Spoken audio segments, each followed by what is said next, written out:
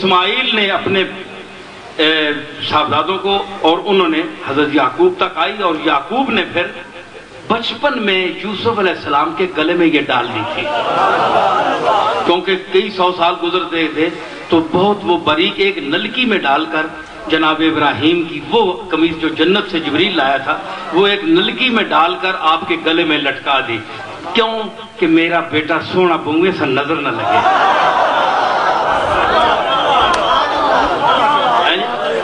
پیو خطرہ ہے نا پیو محبت ہی نا۔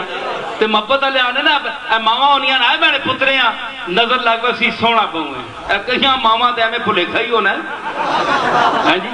کیونکہ یہ بھی ہر پتر یوسف ہی سمجھیاں رہنیاں تے ہر ماؤ نہ پتر یوسف نہیں ہونا کسی کسی ماؤ نہ پتر یوسف ہونا۔ سمجھ آئی نا؟ ہاں۔ تے او جس لے آئی نا، تے انہاں آخیا یوسف میں نے میرے بیٹے کو نظر بد نہ لگ جائے، وہ نلکی بچ پا کے تے حضرت یعقوب علیہ السلام، جس ویلے او آپ گئے نا کھوئے بچ تے اس کمیس نی برکت نی وجہ تو اللہ تعالیٰ انہاں بچایا۔ موت تو بچایا۔ پڑے ہوتے کھلوتے، ڈول آیا، باہر آئے۔ او سفر چلنا رہا۔ او جس وقت پتہ لگا نا کہ ابا جی نی اکھیاں سفید ہو گیا رو رو کے۔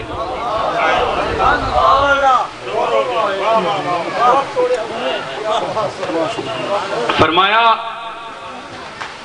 اذهبوا بقمیسی هذا فالقوه على وجه ابیات بصیرہ۔ اے میری کمیز لے جاؤ جڑی ماں جناب ابراہیم تو ورسج ملی ہے۔ تے اس نے صدقے اللہ مشکلہ ٹالنا ہے۔ تے میں نے پیو نے منہ ہوتے سٹو ون کے تے انشاءاللہ اللہ تعالیٰ اسا نظر دے سی۔ او آگائی گل ہوئی۔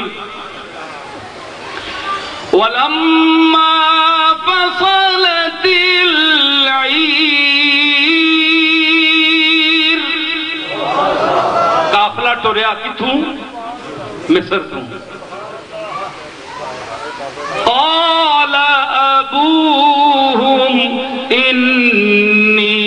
لأجد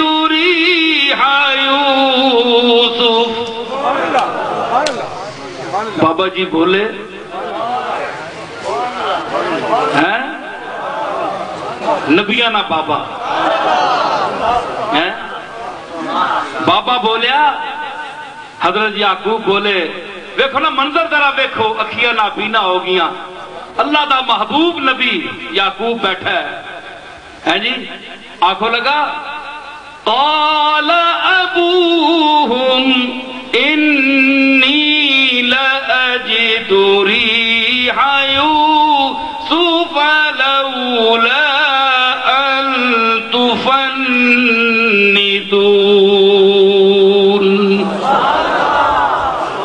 اوے تسی ماں کدے اے نہ آکھو نا، جے بڑھا سترہ بہترہ چو گیا تے ہمیں بیلیاں میں ارنا ہے۔ تو فن دون نہ کہ مانا بڑھا سٹھیا گیا ہے۔ سترہ بہترہ چو گیا تے ہمیں بیلیاں دینا ہے۔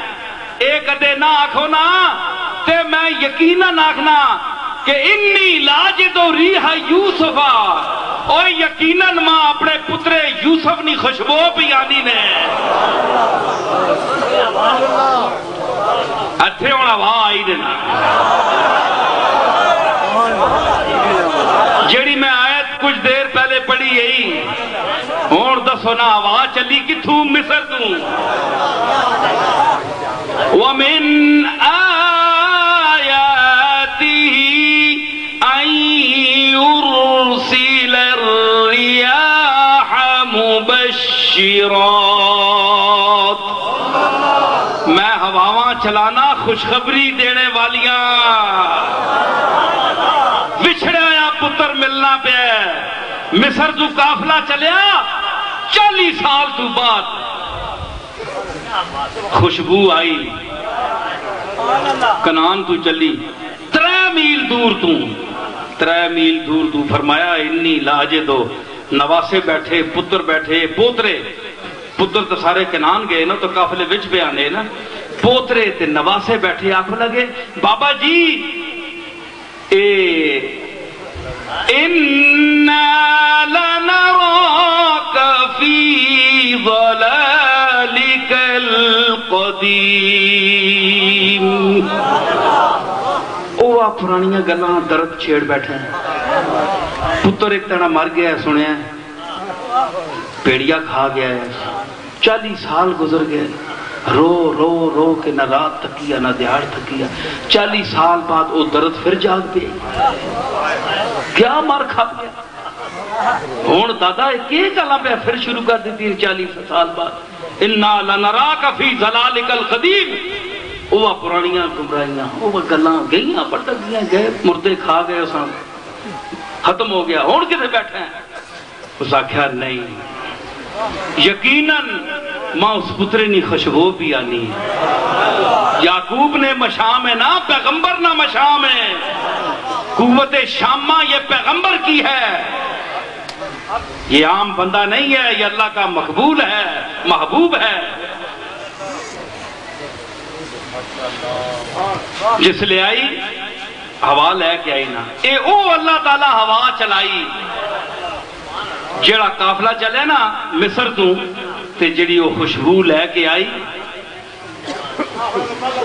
ہے جی؟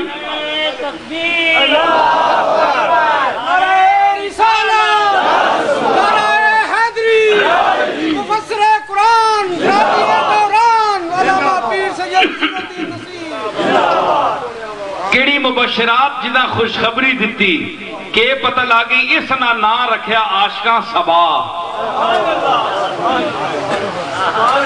اس نہ کہ نا رکھیا نے سبا۔ اس نہ سبا وہ ہوا ہوتی ہے جو مشرق سے مغرب کی طرف چلتی ہے، اس کو سبا کہتے ہیں۔ یہ اشاق کی پیغام پر کہلاتی ہے۔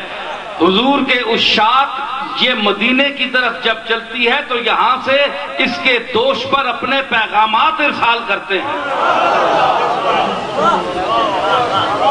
حضرت نظام الدین اولیاء اسی سبا کو تو یاد کر کے کہہ رہے ہیں، سبا بسوئے مدینہ روکن بس عظیم دعا گو، سلام برخان سبا بسوئے۔ اے مبشرات میں سے سوا جو چلتی ہے مشرق سے مغرب کی طرف، جو عاشقوں کا پیغام محبوب کی طرف لے جاتی ہے سبا بسوئے مدینہ روکن عظیم دعا گو، سلام برخان اس نیاز مند نظام الدین سے، کی طرف سے حضور کی بارگاہ سیاں پناہ میں سلام پیش کرنا ہے ہوا۔ حضرت نظام الدین اولیاء نے جو پیغام سبا کو دیے تھے، چونکہ آج ہواؤں کا ذکر ہو رہا ہے، اس لیے میں ہوا کے دوش پر یہ پیغام مدینہ منورہ بھی بھجوا رہا ہوں۔ تو حضور نے یہ پیغام جو حضرت نظام الدین نے بھیجا کہ سبا مدینے کی طرف گزر کر اور میرا سلام حضور کی بارگاہ میں پیش کرنا۔ بگرد شاہ رسول بھی گردو بسد تذر پیا